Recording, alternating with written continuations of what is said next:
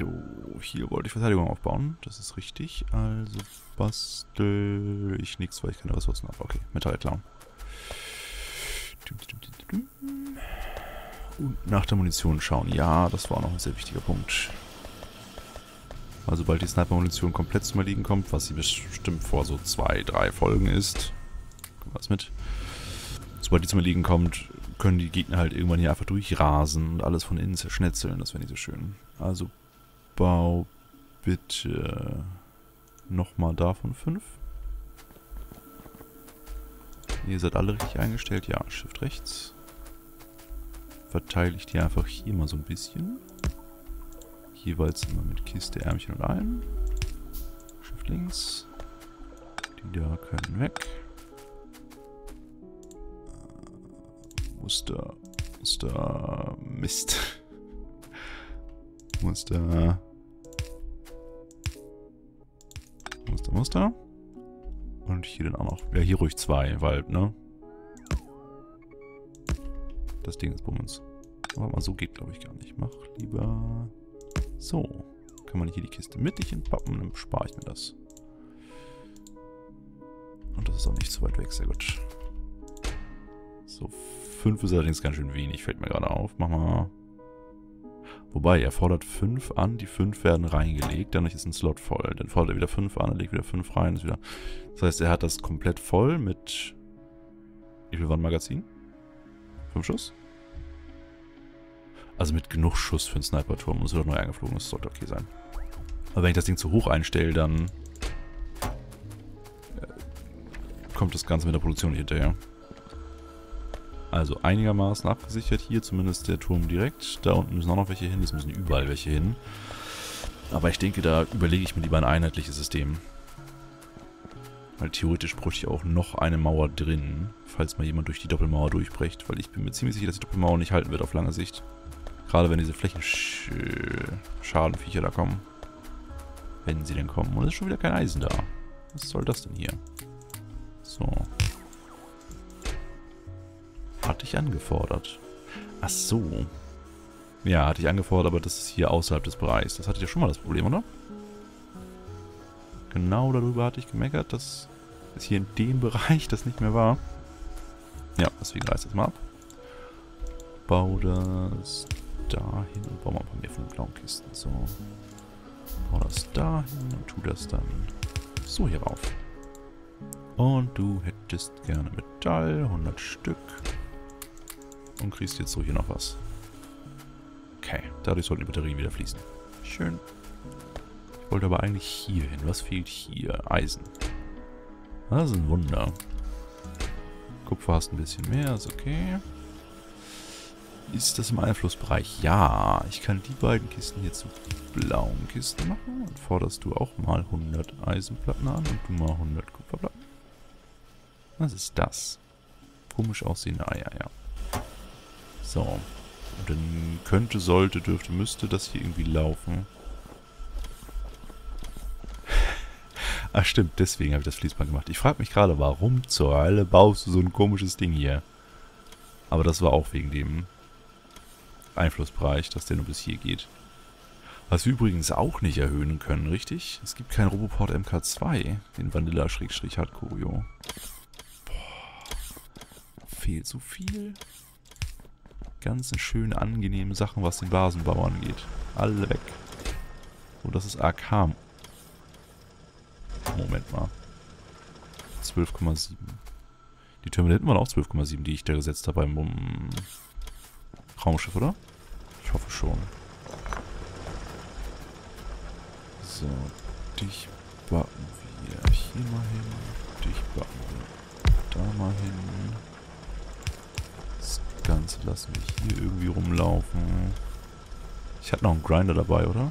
Ne, habe ich auch schon gesetzt. Ich könnte aber einen bauen. Oder? Ja, wenn ich die Engines hätte, könnte ich noch einen bauen. Äh, ja, ja, kommt bald. So, so, so. Euch nehme ich mit, um daraus Smart Chests zu bauen und daraus dann andere Kisten zu bauen und ich habe keine Hacke mehr. Ich mal ein paar mehr, damit ich nicht andauernd was Neues bauen muss. So. Weg, weg, weg, weg, weg. Und ich bin auch ersticken. Ah, es ist nicht so schön. Nix. Also das auffüllen. Munition ist geregelt. Im Auge behalten, wie ausgelastet die Roboter sind. Versuchen, Roboter zwischendurch zu bauen. Rote Engines abholen. Das können wir kurz machen.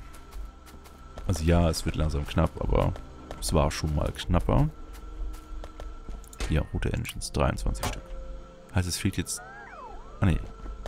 21 braucht einer. Das ist eine komische Zahl. Normalerweise sind es mal so ein Fünferblöcken. Also, ja, ich kann den Grinder bauen. Spricht irgendwas dagegen, den Grinder zu bauen? Der kostet nur 5. Nö, bau den Grinder. 10 wollte ich auch bewahren für Power Armor. Silberzell. Fische fangen soll ich zwischendurch auch immer. Jetzt kommt das irgendwann mal so auf einen Schwung, habe ich ein Problem. Allerdings sehe ich gerade nichts, was ich hier in der Nähe hätte. Nee. Nee, nee, nee, nee, nee. Ich habe noch lernen für das, okay. Forschung steht still. Nicht ernsthaft. Ah, ich habe so ein Glück mit meinen Kistensätzen. Wobei es nicht wirklich was mit Glück zu tun hat, sondern einfach nur Pech, dass ich nicht drauf geachtet. Oder Unachtsamkeit dann wohl eher. Hm? So, so, du hättest gerne Muni. Und zwar jetzt die richtige, die MG-Munition. Fünf Stück. Gut. Das läuft also auch. Was nun? Ich muss warten, bis die Munition hergestellt wird. Ich muss warten, bis die, bis die hellblauen Tränke hergestellt werden, wollte ich sagen. Aber das ist gar nicht der Fall. Hat sich schon ein wenig was gestaut. Das hebe ich mal kurz auf. Stopfe die von Hand rein, damit die hier weiterarbeiten können. Nimm, nimm, nimm, so. So. So. Ihr seid am Rödeln, das ist gut. Stromverbrauch ist machbar. Bauen wir ein paar vernünftige Modulen. Und schnappt dir Chips. Da, ich hätte gern Rotchips und grüne Chips und noch mehr davon.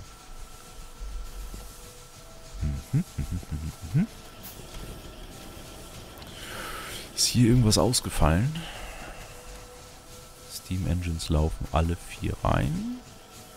Hier drüben laufen alle drei rein. Sonst hätte ich auch eben gerade bei der Stromübersicht was gesehen. Ne? Deswegen gucke ich mich mal so ein bisschen um. Die Sachen werden doch ganz gerne zerstört. Da blinkt ein Licht, das ist nicht so wichtig. Hier ist Wasser, da ist Wasser, überall ist Wasser. Und alles läuft. Ne, gut. Gib mir die Kohle. Radar-Slots, sechs Stück. Ich muss bald neue Radarschüsseln bauen, weil wir brauchen so viel Strom, das ist meh.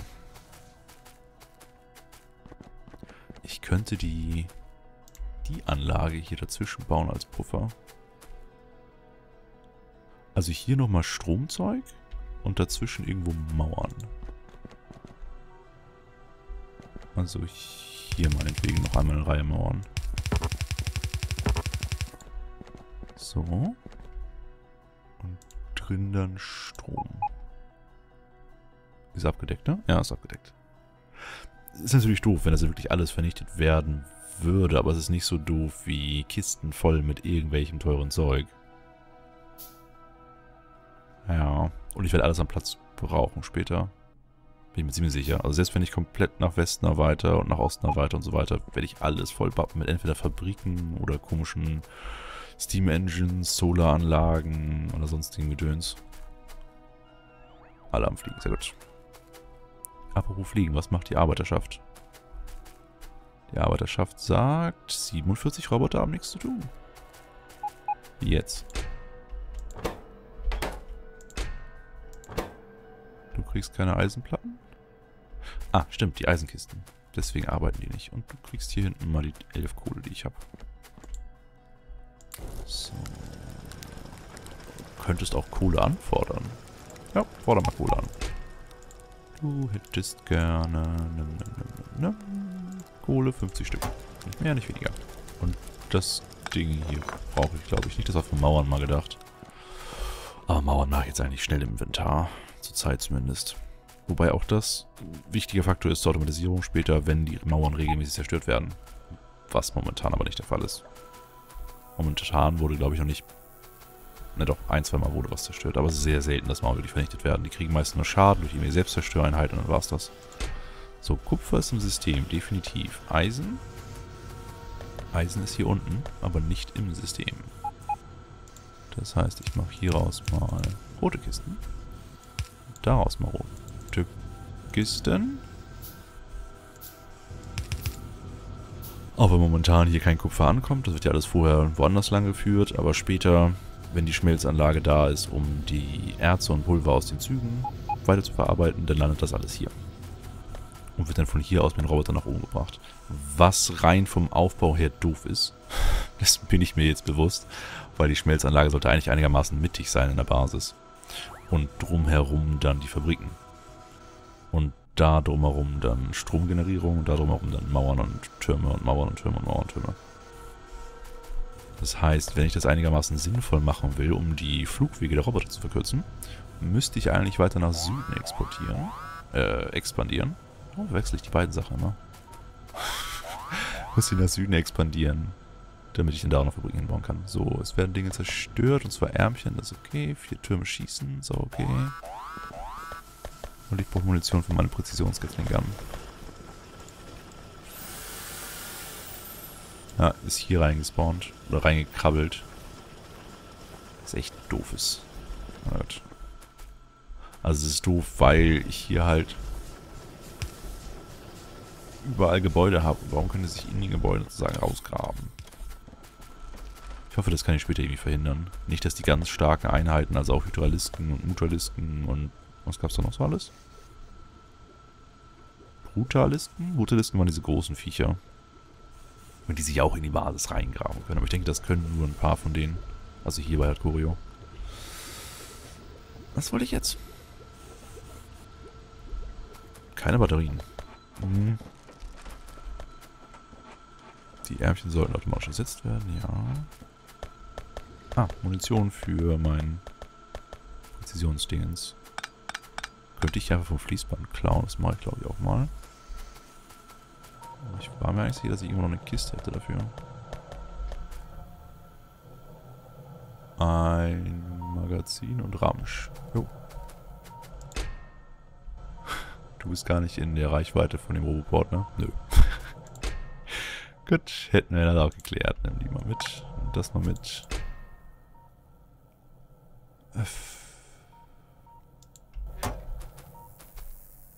Ja, okay.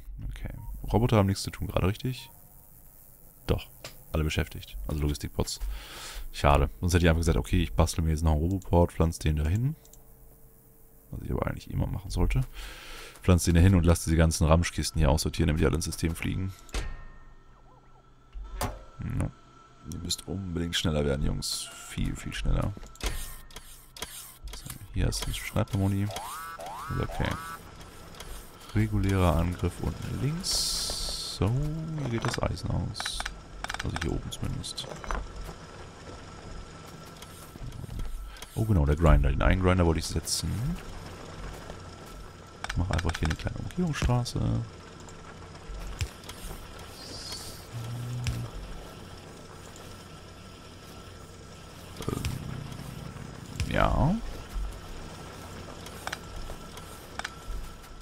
Das da brauchen wir für das da. Und der Rest geht bitte darum.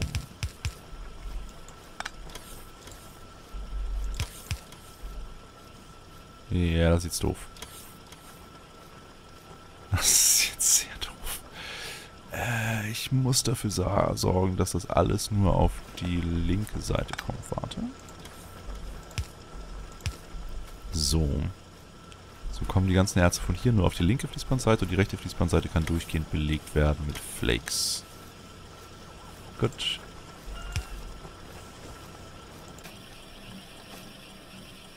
Ja, du kommst gar nicht ordentlich hinterher, das ist aber okay. So, also das wurde auch schon mal ein bisschen aufgepäppelt. Was ja auch ganz gut ist. So, Forschung. Du brauchst Lasergedöns. Und du brauchst das da. 150. Na gut, 100 habe ich schon auf die paar Forschungsdinger da verteilt. Das sollte okay sein.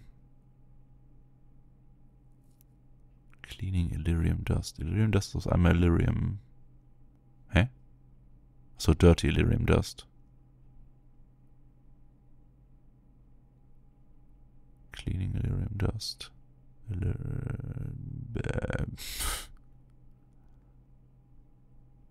Also man macht es erstmal und zerstampft es zu dem, also von Illyrium zu Dirty Illyrium Dust. Dann verarbeitet man es mit Wasser und Schwefelsäure zusammen zu der Flüssigkeit und die Flüssigkeit gießt man dann quasi wieder in Form, um Illyrium Dust zu bekommen. Und Illyrium Dust bearbeitet man weiter zu Kristallen und die Kristalle benutzt man, um die Power Source zu bauen. Und es gab noch diverse andere Rezepte, die auch Illyrium in der einen oder anderen Form brauchten. Zum Beispiel bessere Mauern da.